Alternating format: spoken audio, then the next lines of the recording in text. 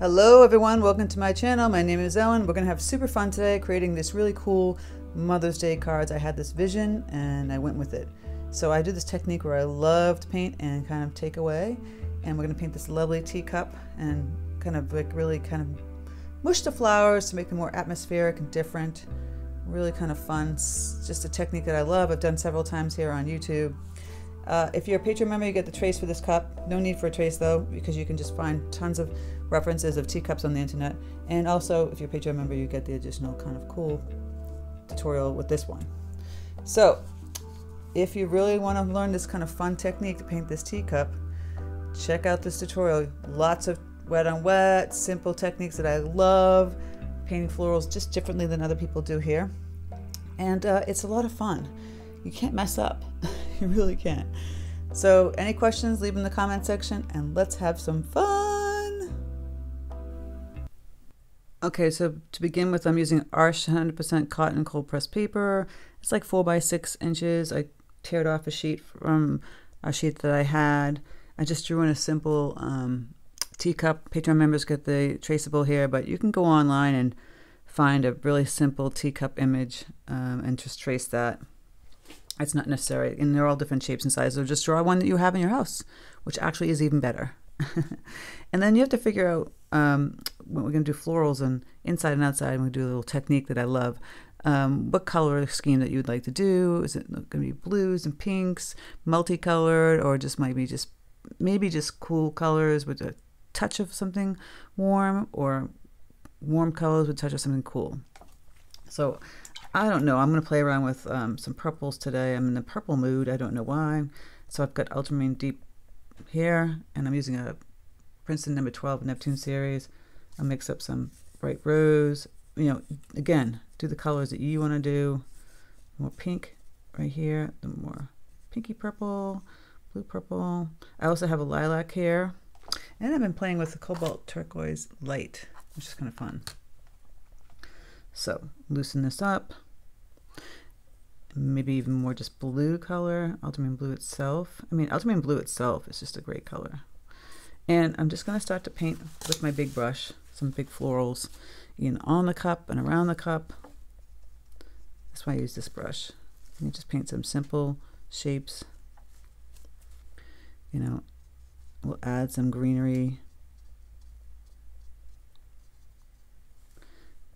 Kind of on the cup.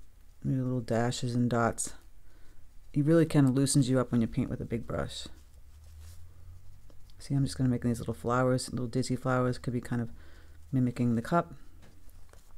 And I went bold, I went right in there with the paint. And there's a reason for that. and then on the top, too. So I just have that outline here, not necessarily needed anymore, just to get you the correct shape of the actual teacup. But up here, I grab some more blue tones and purple and water it down. A lot of water, so it's lighter. And we'll put, this is my number eight long round. I just got a new one. And actually I bought two by accident. I'll go through them. So here we're just making some simple petals. Like this. Have them coming up way up here. You can make da daisies, pansies, whatever. I'm just doing some really, this is a quick, quick tutorial on making really kind of pretty Mother's Day card. Um, maybe I'm going to switch to another brush. I feel like this is not giving what I want. I'm going to switch to a 10 round. And I'm grabbing the more pinky purples now. Again, just take this movement with your brush, kind of wiggle back and forth. And you can kind of move it around in a circle too. See, like that. To get petals connect them, leave some open like this. Little ditzy one, smaller here. See I'm just moving? It doesn't really matter, you're just moving around the paper here. The pink and the purple, maybe even more pink. I haven't yet touched the lilac yet. Here's that lilac color, just watered down. It's kind of like a gouache tone. Gouache tone. It acts like gouache in a way. That's really kind of pretty and pale. Just make like little daisy kind of flowers here. Okay, at this point, I can add a few more blooms around my cup, but I'm to start to put some greenery in. See, I'm just tippy tapping like some colors that look like petal shapes. Do the same thing. On the bottom here, we're to leave that one not with color. Really simple. Remove some of this color. Let's make some greenery. I always mix my greens because it looks more natural. So cadmium yellow deep and Prussian blue is kind of all you need and a little burnt umber. And you can make a variety of greens with that. Blue or green, darker green, lighter green. Uh, I'll still use this brush for some leaves, but I'm going to switch to a bunch of other brushes too. So the 10, you can make it just simple leaves like this. That chartreuse color is really good with the lovely purple.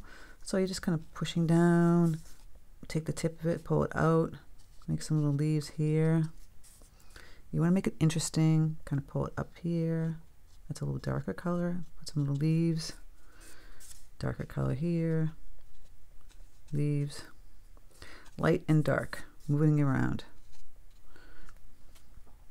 I'm going to have some flowers come up this way too. Uh, if you still have some blue or lilac.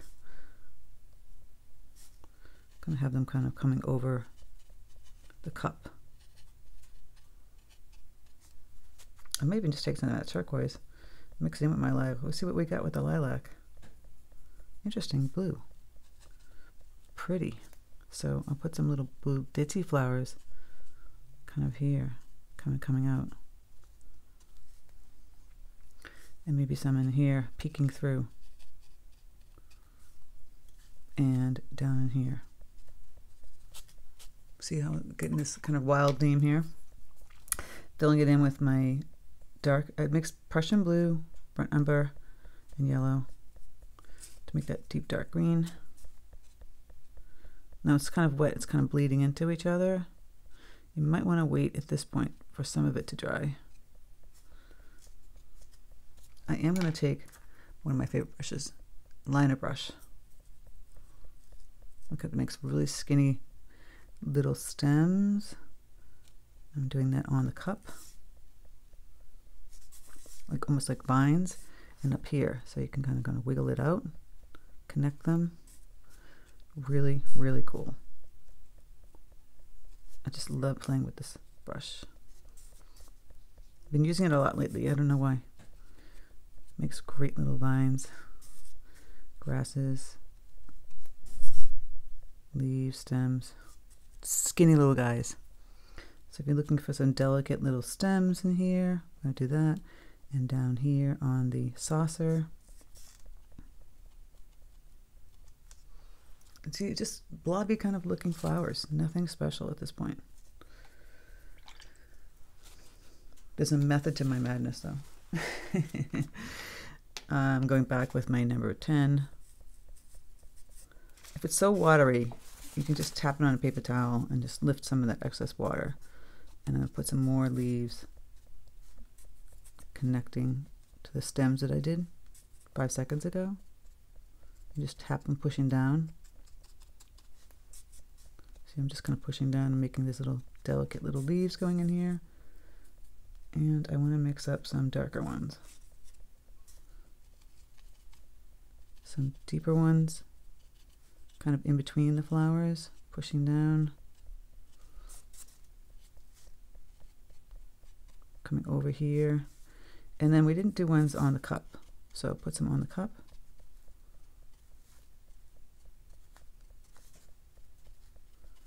Cup's gone wild. You can space it out more than I spaced mine out. I did kind of like haphazard, crazy cup. And tapping, little taps. Make it as lively as you'd like. And there we go. Now you could put like a little yellow in the center. That's still wet. So you can't differentiate right now between the cup and um, the flowers. We're going to add a little shading, ultramarine blue and some burnt sienna.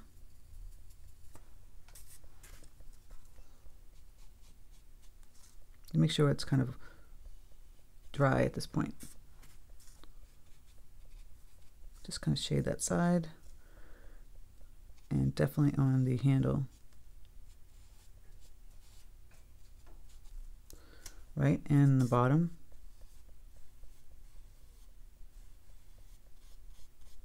Ooh, I got a little purple there.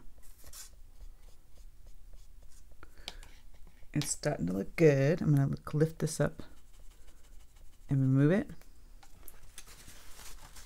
And there would be some shading in the saucer area in here.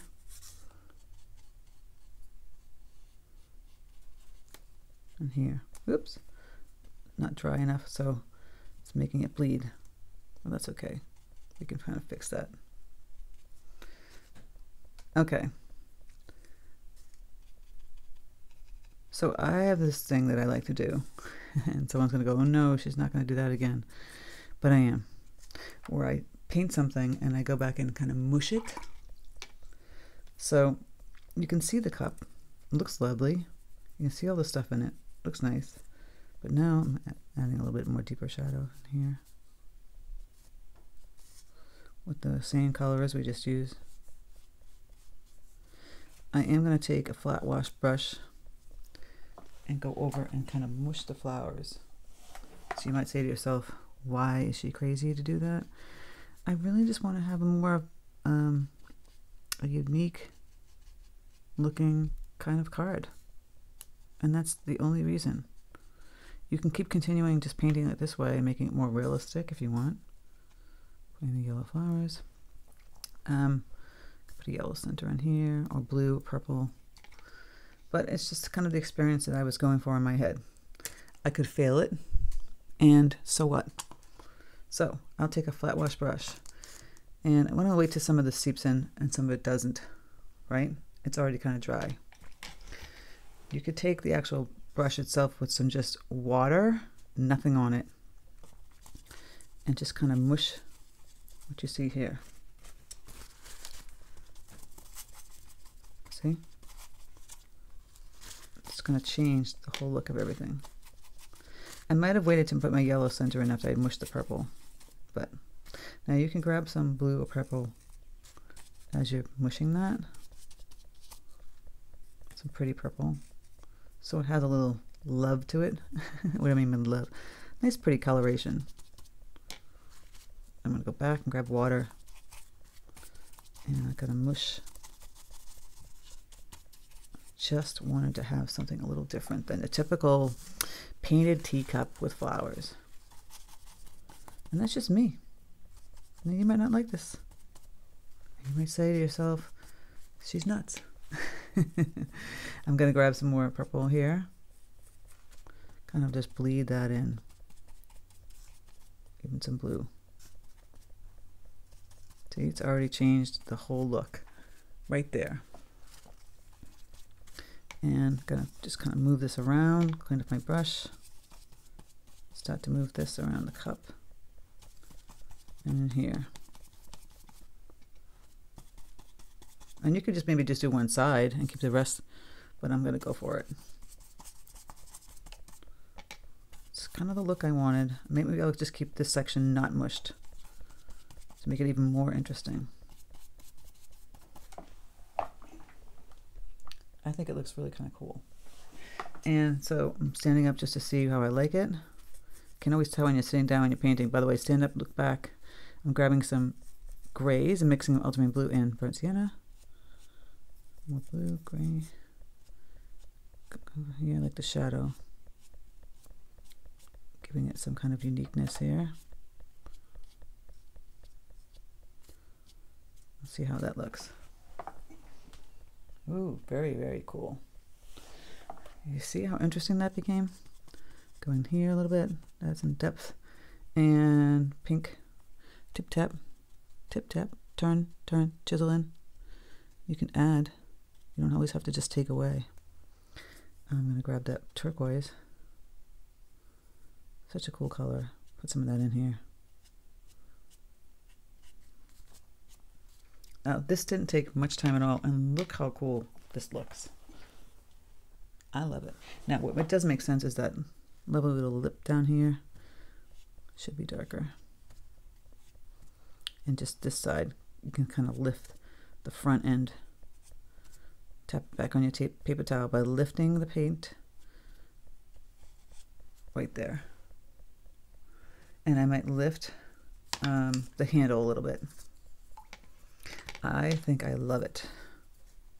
Don't fuss with it too much. I'm going to lift the color on the handle. And I think it's unique. You see a lot of florals and teacups, but I had this vision in my brain. And people like, how do you come up with these? Sometimes it just comes in my head. I don't know. To add a little that chartreuse green in here. And it would be really cool if you had a little gold too. I don't know if I like that chartreuse green there. I'm to remove some of it. I did like it and then I don't. So you can once that dries, you can go in and add some color to. I'm to go back and add some leaves here.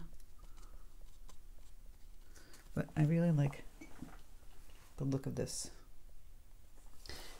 And I think I'm going to add more of a sharp line shadow once this dries too, over here. So at this point, I even though I have this mark here, it's kind of cool. You could have kind of cool marks kind of coming everywhere. Let it dry and we'll come back and just add a deep shadow and call it a day. So it's dry. I'm going to go in and add a couple of shadows. Um, should be more of a shadow in here. This little lip, the cup. Can add some more back here. And then of course I wanted to make a deeper shadow on the bottom of the cup going out.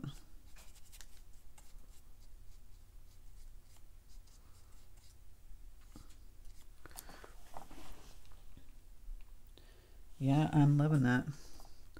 I'm really gonna go around here too, playing with this shadow even more so.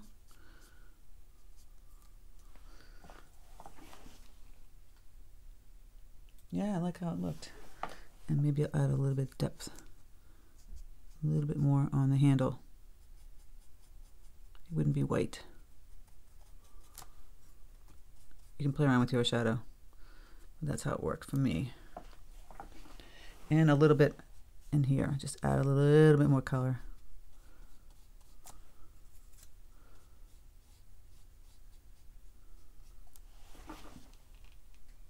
Cool, isn't it? Not much effort to create a really kind of cool, unique design.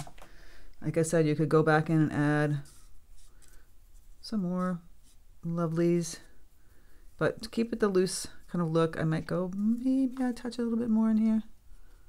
You can add some little lines, but don't get crazy. I love the looseness of it. That's the whole point, right? Got my turquoise color kind of popping in here. I don't want to muddy it too much, but I'm really loving how it came out. And look at less than 20 minutes, you have the most gorgeous card that you could give somebody just by using this technique. It's really sweet. I love it. Hope you love it. Um, like I said, if you're a Patreon member, you get another extended card to play with that I'm going to show you.